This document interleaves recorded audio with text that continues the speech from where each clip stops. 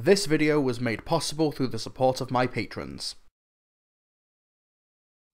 The most precious thing on this earth is the human brain, and yet we allow it to die. It is quite useless to resist as we are stronger and more efficient than your Earth people. You belong to us. You shall be like us. The ascension shall begin. The strength and might of the cyber race will be confirmed. Pain. Pain. Cold. Pain. So cold. Pain.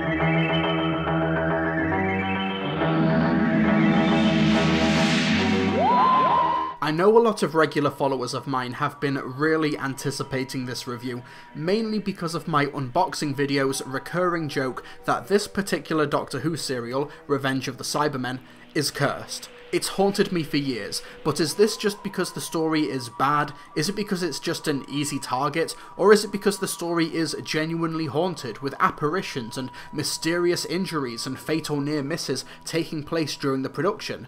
Honestly, it's a bit of everything.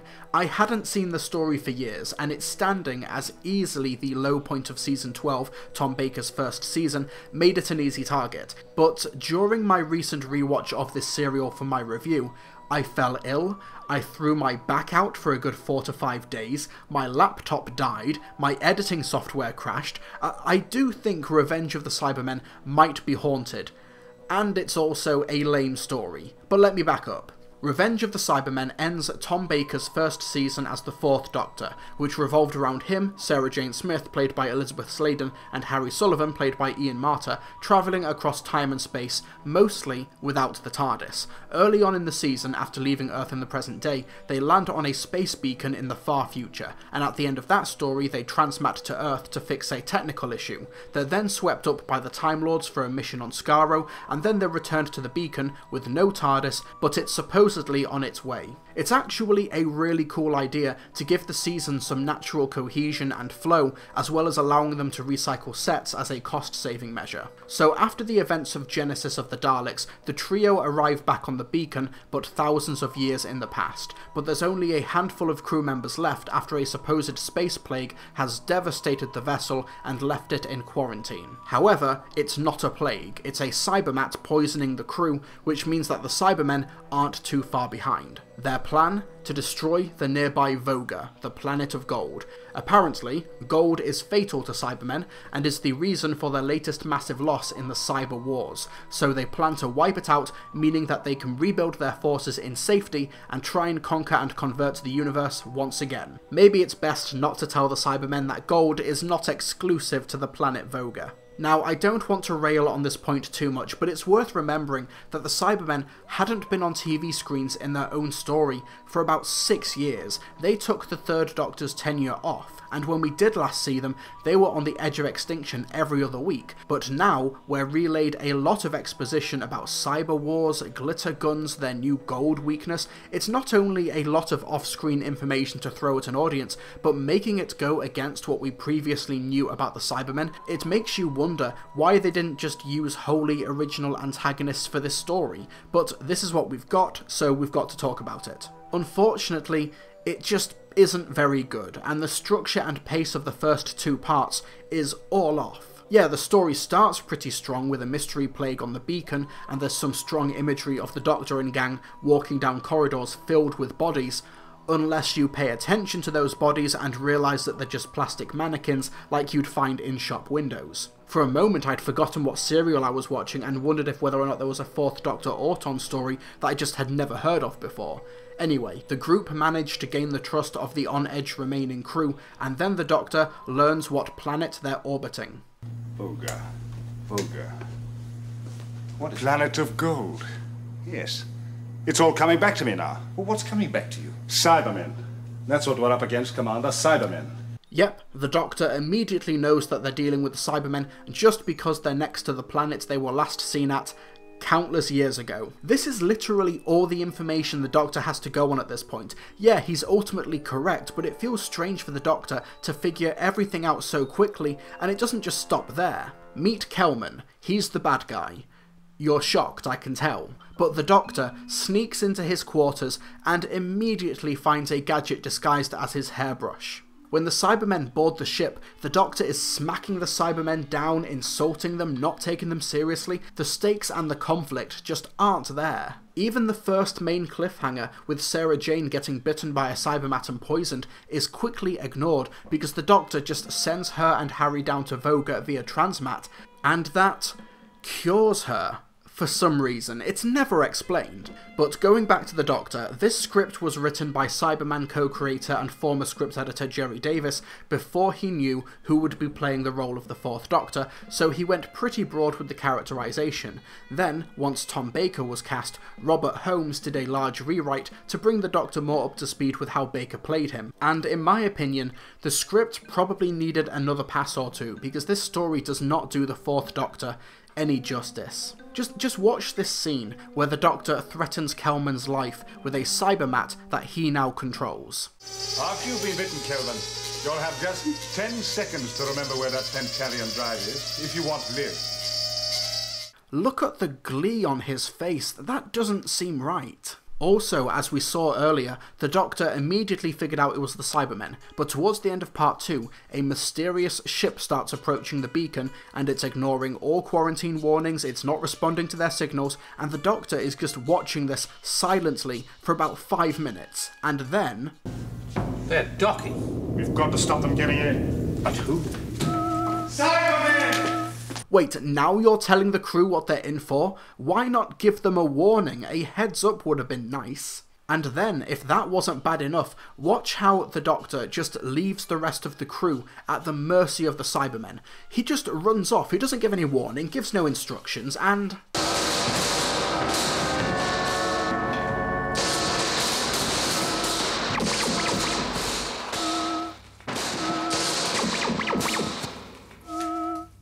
Yeah, it's revealed in the next episode that they've been spared, but the Doctor couldn't have known that up front. He just flat out left them to die. And Cybermen possess nothing that a human might want? You are incorrect. Then what is it? You've no home planet, no influence, nothing. You're just a pathetic bunch of tin soldiers skulking about the galaxy in an ancient spaceship. I know this is one of the most well known moments from this serial, but a lot of it just typifies the problems with this story.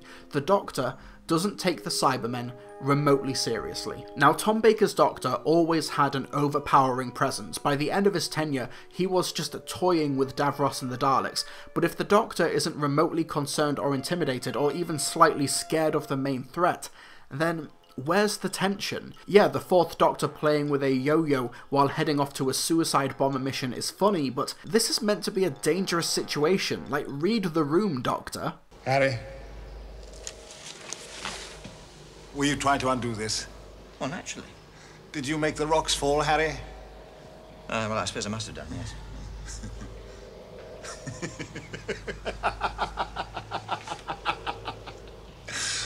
Harry Sullivan is an imbecile! Doctor, what is your problem? And I know what I'm about to say is sacrilege, but I think this all hampers Tom Baker.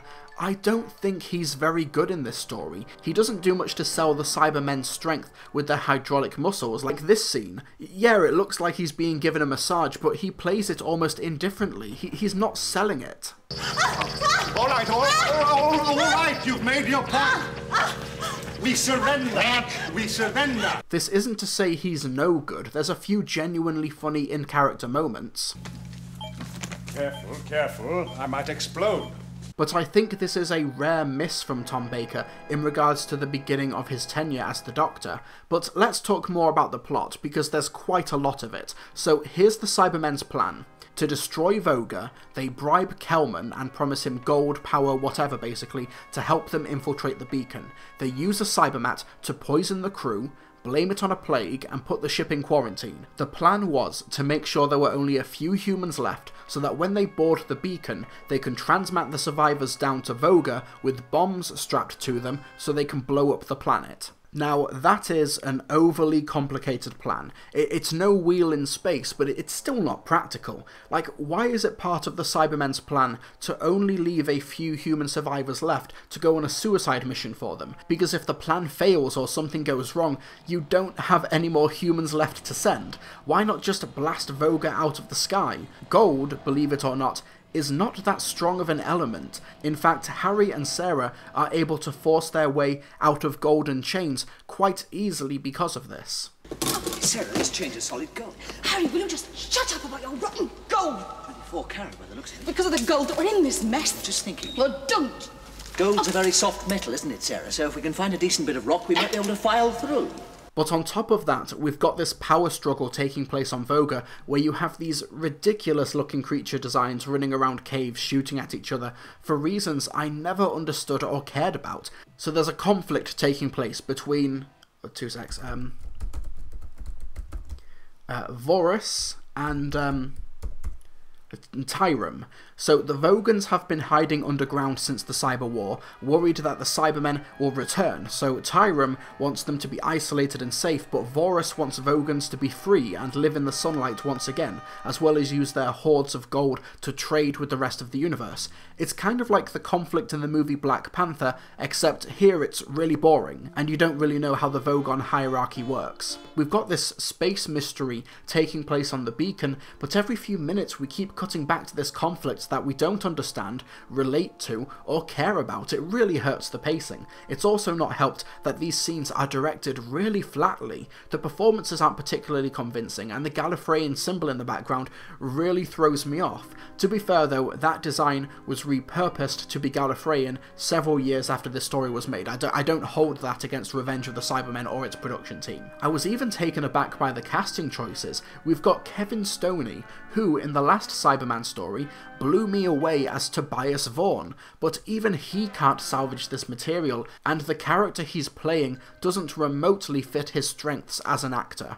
While no one suspects that Voga is inhabited, that this is the famous planet of gold, we remain safe. Safe? You have the philosophy of a cringing mouse, Tyrum. And you're a gambler with a mad thirst for power. That's why I no longer trust you and the Guardians. Credit where it's due, the filming location in Wookey Hole Caves in Somerset is strong, and it gives the story some much needed atmosphere, but the direction doesn't do much to complement or assist it. Why don't they just finish us off?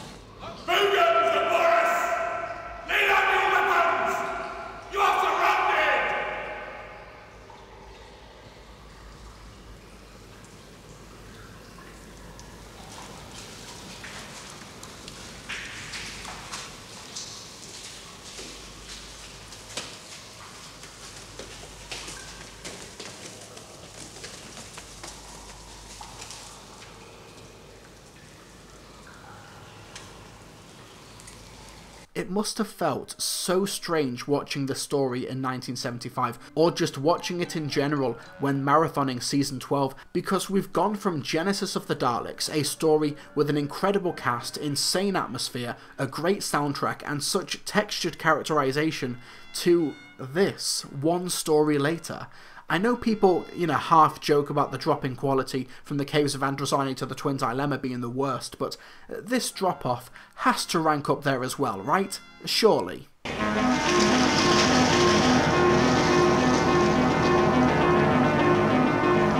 Oh, okay, sorry, uh, Sarah Jane is riding a tiny speedboat, so I guess that's shown me. And then we get to the Cybermen, who, hands on hip cyber leader aside, aren't actually that bad. I do like their designs here. This is the first time we've seen them in colour, but they still have that great silver colour scheme, which literally shines in the caves of Voga. The Cyber Leader's black helmet was a great touch, and there's something to be said for how the Cybermen having the guns in their helmets helps to give them the posture of just effortlessly fighting back. The Cybermen can just stand out in the open or walk forward shooting with their helmets without any sort of effort or exertion. Also, for the first time in the series, series, the voices are coming from inside the helmet. A bit basic, but it does sell the idea that there are people inside of that silver armour, until they start talking, and then you can see what the issue is here. They are eight minutes from the detonation zone. Eight minutes. In eight minutes, the accursed planet of gold will be utterly destroyed. annihilated, vaporized. It is. Like I said in my review of The Wheel in Space, the idea of just a group of survivors on the brink of extinction trying to gain a foothold is a great and powerful concept. It's the Cybermen at their best. But in Revenge of the Cybermen, they're not desperate or scary, they're petty. This cyber leader seems awfully angry all of the time and is very easy to provoke. In fact, the Fourth Doctor abuses this character flaw to try and engineer a standoff. The Cybermen in this story are capable of humour. You are about to die in the biggest explosion ever witnessed in this solar system. It will be a magnificent spectacle. Unhappily, you will be unable to appreciate it. Nice sense of irony. Anger. And that was the end of Cybermen. Except as gold-plated souvenirs that people use as hat stands. Watch it, Doctor. I think you've riled him. Even pride. Our warriors report all initial opposition has been crushed. And happiness, or, or at the very least, positivity. It is good. All of this combined with the Doctor not taking them seriously and their really dumb and short sighted plan means that the Cybermen fall flat in their first appearance in six years, made even worse by their newfound weakness to gold. In prior stories, they've had weaknesses involving radiation, gravity, low temperatures, emotional impulses, and even just bog standard human grenades, and now you're giving them another weakness to abuse? But later on in the story, a couple of Cybermen transmat to Voga, the planet of gold, where the Vogans have spent years hiding and preparing in case the Cybermen show up, but they don't actually use any gold to fight them off. What?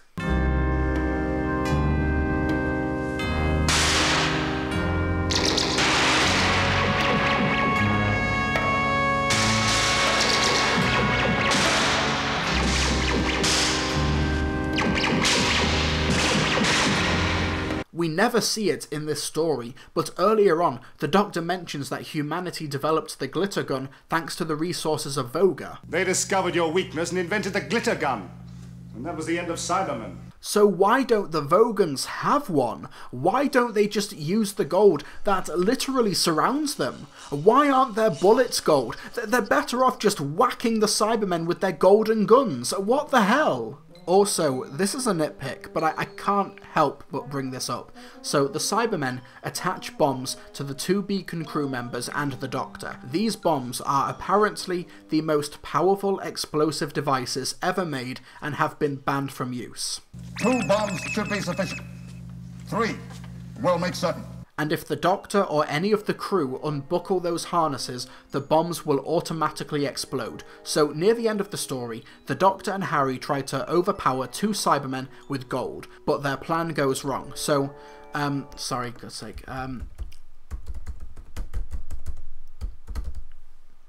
Lester, Lester decides to sacrifice his life to destroy them, so he leaps down from the ledge, unbuckles his harness, and...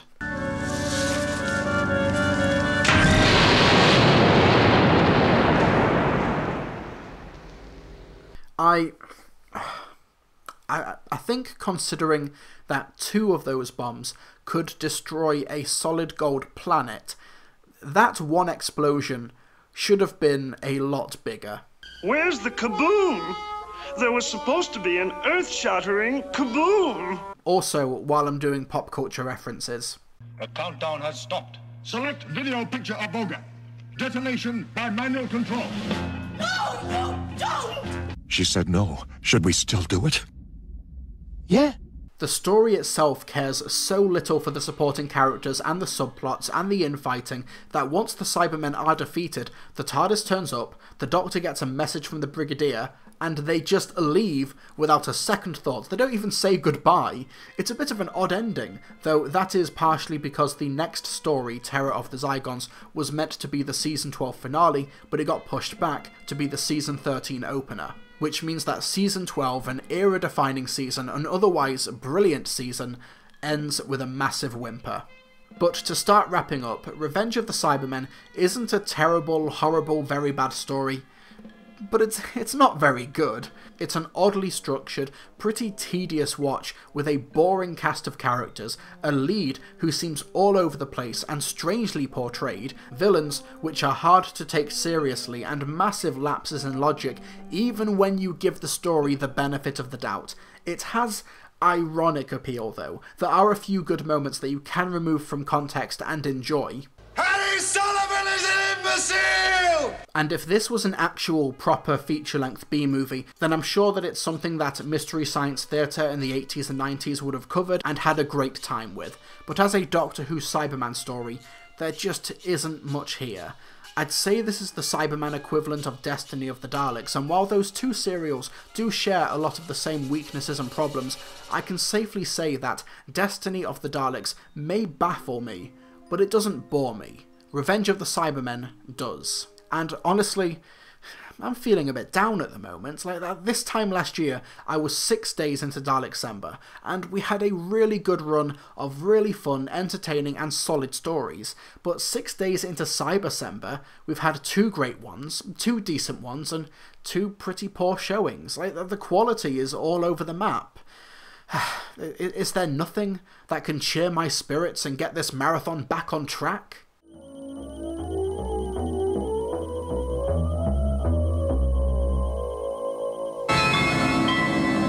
Now that's more like it.